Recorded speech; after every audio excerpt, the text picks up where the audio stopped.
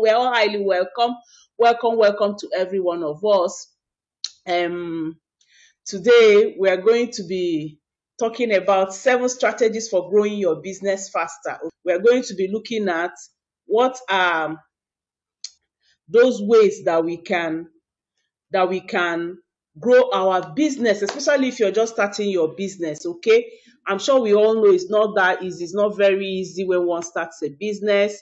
How do you grow your business? What do you do? Today, I'm just going to give you seven strategies that worked for me, which I know will also work for you also. All right, like I said, if you know the business you're doing, help me drop on the chat box what business are you doing now are you into business or you want to go into business you're not yet doing any business or you're planning to start one just drop into the chat box whatever it is let's just face the facts today scaling your business is not easy okay like the person selling provision now to say you're scaling your business onto a higher you know way to make greater impact is not easy or you're into printing and um, publishing is not so easy. But you know, okay, so um, if you put in considerable effort into what you're doing, you're going to actually make a break impact, a great impact. In the beginning, it means you know wearing different hats. That's doing different things. Like the person selling provision now,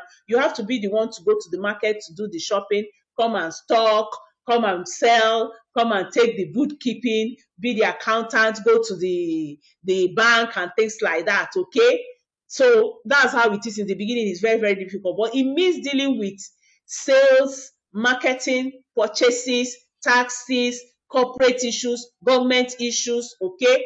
And it also involves your in, in attracting marketers, okay, on daily basis and so much more. Like now, the person selling provision, you won't really say you're doing great if your provision is just sold on your street, the streets around you, and things like that. You can't really make global impact. Remember that these Thursdays, we talk about how you can make global impact, how you'll be able to reach the world. Because it's the more people you help, the more money you make. It's when you help more people that you make more money. Okay, so scaling up your business is not that easy, but it's something that is very, very doable. It's something that is very, very doable and can be done. So if you're struggling to grow your business, there is actually light at the end of the tunnel. I'm telling you, there is light at the end of the tunnel. Sure, it's going to be diligent, hard, and smart work. But what's the alternative? For us business people, for me, I've never worked for anybody and I will never work for anybody. That's for me, okay? except if I'm going to um on that train, train for something. Like I can remember when I went to learn how to do um ashoke. Okay, so the woman will be saying, oh, do get this for me, get that for me. It's like working for her because I was learning from her. Or when I went to do learn sewing, I also did sewing.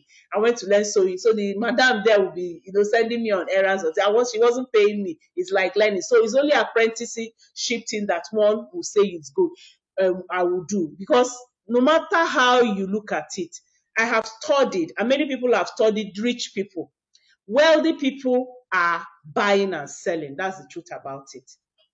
Dangote is the richest man in Africa. Is he not buying and selling? He's buying raw materials, producing goods, and selling goods. Mike Adenuga is selling communication. He sells data for you, but he doesn't come to the street. You see him on under the umbrella saying, Come and buy a recharge card, come and buy a recharge card? No. But many people who started businesses started it small, okay? They started it small and then they now started growing and they now started growing. So you may maybe you are longing for the security of a guaranteed paycheck, but at what mental or emotional um, price do you want to put? What do you want? What price do you want to pay? There is always price to pay. The truth is this: if you buckle up, if you clear your mind, and you just look at things in the right and positive perspective, you can easily identify ways that you can grow your business and make more money quickly if you can clear your mind, if you can look at things in the right perspective with positive perspective, not looking at things with negative perspective. Like I tell people, the economy of the nation you are in is not your economy, no matter where you are watching me from. The economy of that nation is not your own economy. The economy of your state is not your own economy. Your own personal economy is what actually matters. That's what actually matters for you. So no matter where you're watching it from, what is your personal economy? What are you ready to put in? What are you ready to do so that you will be able to make sure that you have that okay if if if, we're talking about guaranteed paycheck something that pays you every day i can remember when i was struggling i was working hard looking for a business that would pay me every day when i mean business that will pay me every day it's business that people will buy something from me every day and i'll make cool money not the one of selling and making like in Nigeria 50 naira and 100 naira. By the time you start counting 50, 100, 150, 200, 300, 400, 500, 1000, 2000. And then at the end of the day, one log book like that, you do, you do total, total of everything you have sold that day, 50 something thousand, your own profit, maybe like 2,500. And then you have a sales girl there oh, that you pay, you're paying shop rent again. Oh. By the time you take out money for sales girl, money for shop rent, money for, you know, tax people, you will find out that your profit has moved from 2005 to maybe like 900 naira. Then you close the book for the day. That's even for those who are keeping books. Some people don't even keep books. That's why they eat into their capital and then they don't have anything. So, what am I saying? You need to open up your mind. You need to look at things that with the right perspective. You need to clear your mind. You know, you need to have a growth mindset and know what is happening, what is pertaining in this 21st century. Okay? I was telling people, I said, gone are the days when people will stay in one shop or one big supermarket, they'll be feeling good about their spot. I can remember in those days, friends that will go and rent one building and they will go and fill it with goods. You know, they will be looking at them as big people because they have one shop that is filled with goods. At the end of the day, you, you're not getting anything. Amazon, does he have any shop? Eh? Even let me even come down to Nigeria. Jumia, eh? Which shops do they have? middle people that are selling goods, selling, selling, selling in their hundreds and becoming millionaires. You too can be so. You might not have all the money those people have, but if you have the growth mindset, if you will follow the global influencers I'm teaching people, you too can become one silently and quietly. Nobody knowing how many millions you make every day. Because number one, the business I will introduce to us at the end of this, you know, um, telling us seven ways you can grow your own personal business and how to add other businesses to it. You don't need a shop. You don't need to pay any shop rent. You don't need a sales girl. You don't even need any tax person coming around you because the company collects the tax for you and pays for the tax. They don't disturb you for anything. Everything has been done for you. I used to be a production, I used to be into production. They produced for you. Everything is set for you. All you need is enjoy your products and then talk about the benefits as if you know, as you're enjoying yourself, the way I enjoy myself on Mondays on Saturdays, I'm jumping up and down, enjoying myself, having fun, and you know, blowing millions. So if you're struggling to grow your business, there is actually light at the end of the tunnel. While hundreds of growth strategies uh, exist about growing business, these seven that I'm going to talk to you about today will quickly take you from nothing to being something in doing your business today. All right. Okay. So, like anything else in life or in business, you have to put in the time. If you're looking to reap the benefits, there must be time. You have to be able to have time. I know the beautiful thing about the 100 influencers and about the um, um, business I'm, I'm, talking about, you don't re- really need um, time framed that you cannot manage. You do things at your own time. Like now, if I have a shop, I have to get out in the morning to go open the shop when people are walking up and down, isn't it? If I don't open it when people walk up and down to see what is inside my shop, I will not sell. But this business, you're in front of people every day. You follow them, whether they are traveling, whether they are at home, whether they are in school, whether they are in shop, whether they are in the office you follow them. And that is the good thing about social media. Okay. So I'm talking about how you can use social media to leverage your business, use attraction marketing to be able to get to many people so that people will be looking for you. It's not you that will be looking for people. And then automation. So that by the time you use automation, the things are into play. When I wake up in the morning to wee wee 3 a.m., I'm telling you 3 a.m., I wee wee twice. I will be just before I sleep, 3 a.m. And then when I wake up to have my morning walk around 6 or, or so, I will have so many people to answer from 3 a.m. from that time. All right, so that's automation. The thing just comes, and that's what we're looking at. So don't focus on short term term outcome. Okay, focus on long term outcome. Build sincere value, and then look at how you can help customer. Genuinely care for customers. These are some of the values that you should have, some of the, the, the attributes that you should have. Okay, number one, don't focus on short term. Number two, focus on long term gains and long term work. Number three, build sincere value. Okay. And then number four, make sure you love your customers that you want to help them. Be genuinely caring. Okay. This should be the foundation.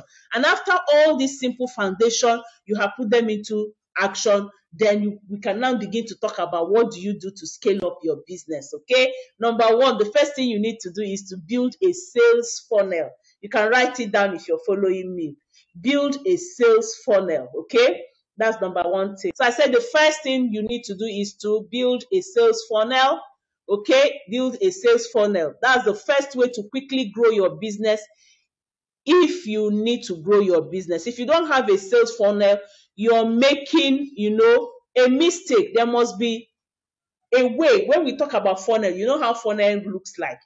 Funnel is um, big like this. I wish um, tell her to give you a funnel so that I can use it to describe.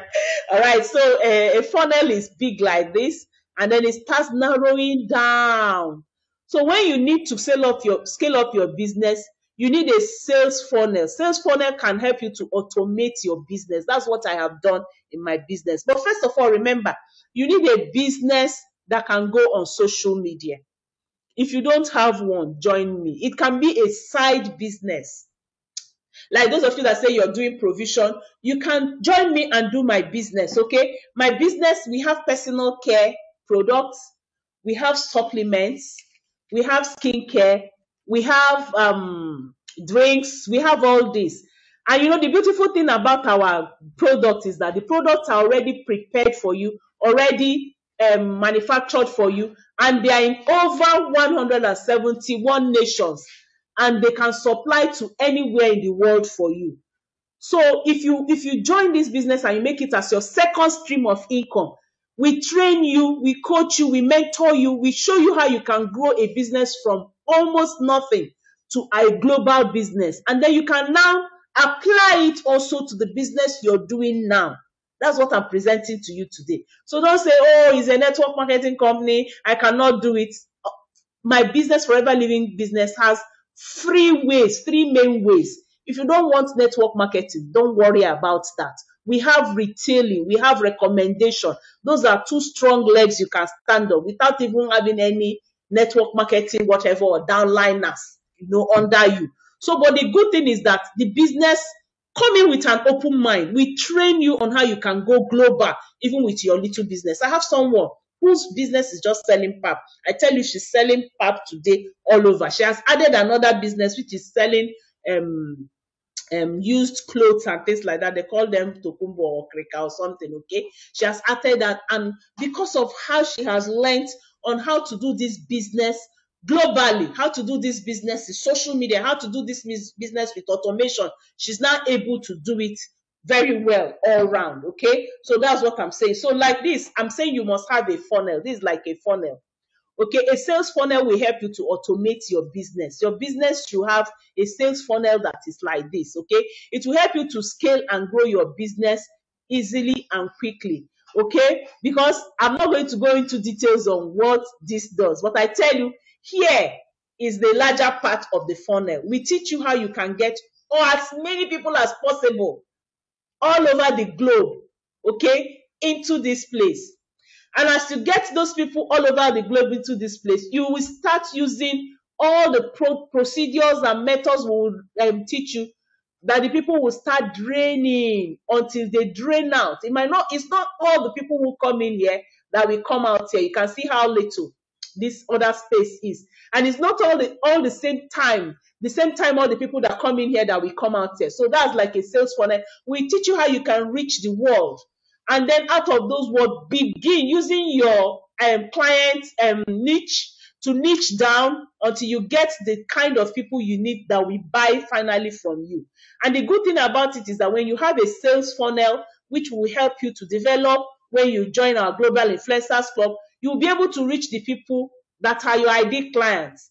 So many of them, those who have the money, those who don't have the money, those who have the ideas, those who you know want it, those who want it later, all of them will come in big like this until every day there will be people that are dropping, people that are dropping for you to sell to every day. So that's what a sales funnel look like. All right, so I'm also willing to take our questions as we go on. All right, so that's the first. And again, the second strategy, remember the first one is that you must have a sales, a workable sales funnel. You must build your own sales funnel. You must have it.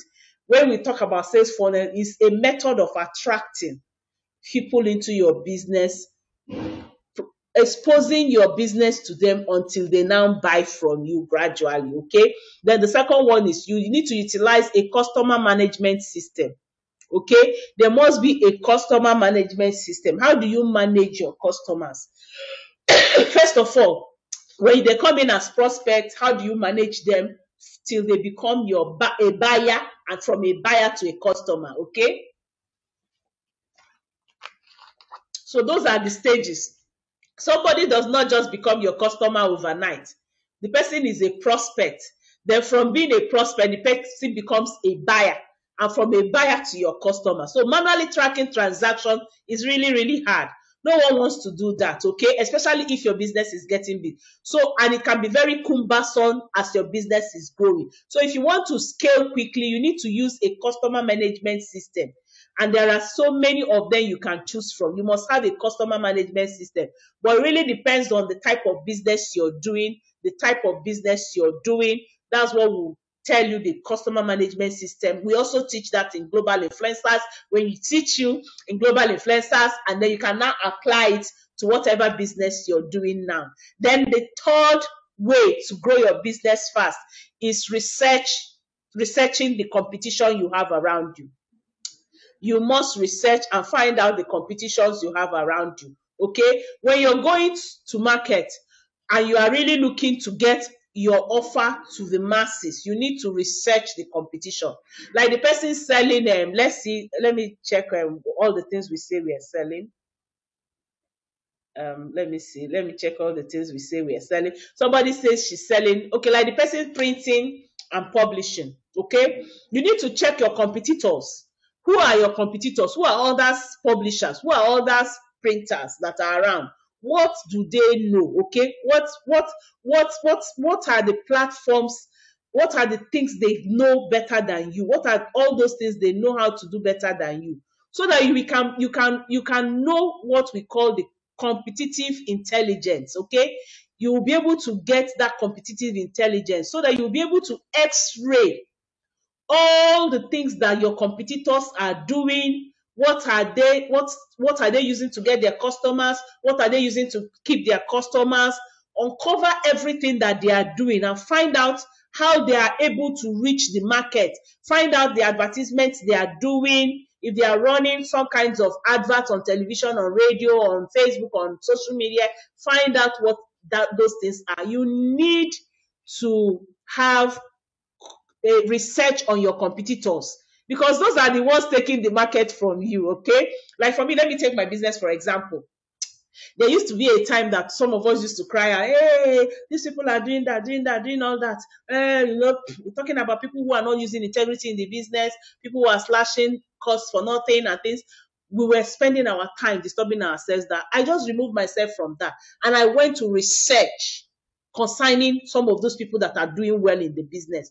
Who are my competitors? I wrote down my competitors. I researched on what they are doing. I found out what they are doing. I started learning what they are doing. I started doing what they are doing and I started doing it better than them. Okay? That's what I'm saying. So for you that you're a printer, this is the process you need to do. Research and find out what are your, that's what is called competitive intelligence. Okay. We are on strategy number three. We are on strategy number three and we're talking about researching you know, about your competitors. That's what we are We've come back live. I pray everybody still comes on. You know, Nigeria.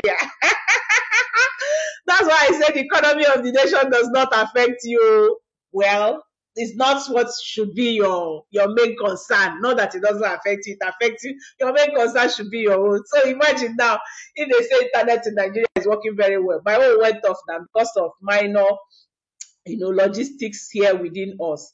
Anyway, so that's about that. So what what was I saying? We stopped at number three. And we said number three, researching your competitors. And I told you what I did to come out of complaining, being open-minded, like I said, being, you know, having the right perspective, the positive perspective about life. Research about your competitors, okay? Make sure you get, first of all, what are their their, their, their positive things. What are the smart things they are doing? What is making them do better than you? What is making them sell better than you? What is making them make more money better than you? Find out that.